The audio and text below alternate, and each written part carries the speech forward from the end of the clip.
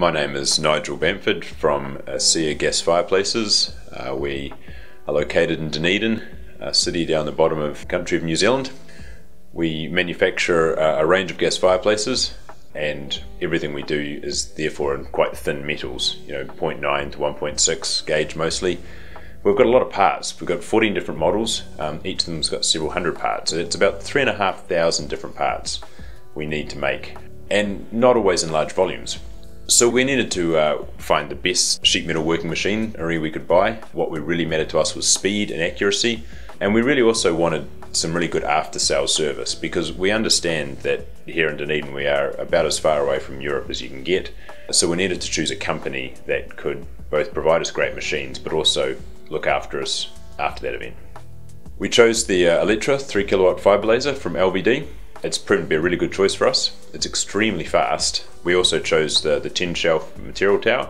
That's obviously let us have lots of materials stored up. Machine grabs the material it needs, quite often just one sheet of each material.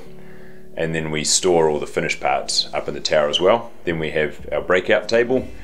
And a few times a day we get some people on the breakout table pulling the parts off.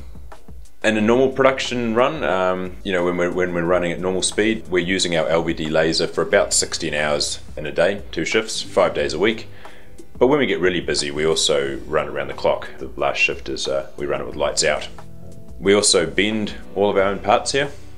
And we'd like to work on a little and often approach to bending. So we don't do very large runs. So we need press brakes that are, that are fast to operate, fast to set up, and most of the time we're pulling up the same program each time.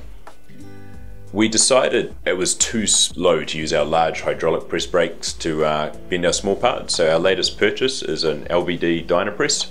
The guys really love using this machine. We now bend our smallest parts on this small fast press brake and we leave the larger parts to our larger press brakes. And you know, this approach has really sped up our total overall bending speed significantly. We've enjoyed dealing with LVD. Um, we've found them being really responsive um, during both the sales process uh, and also with after sales service.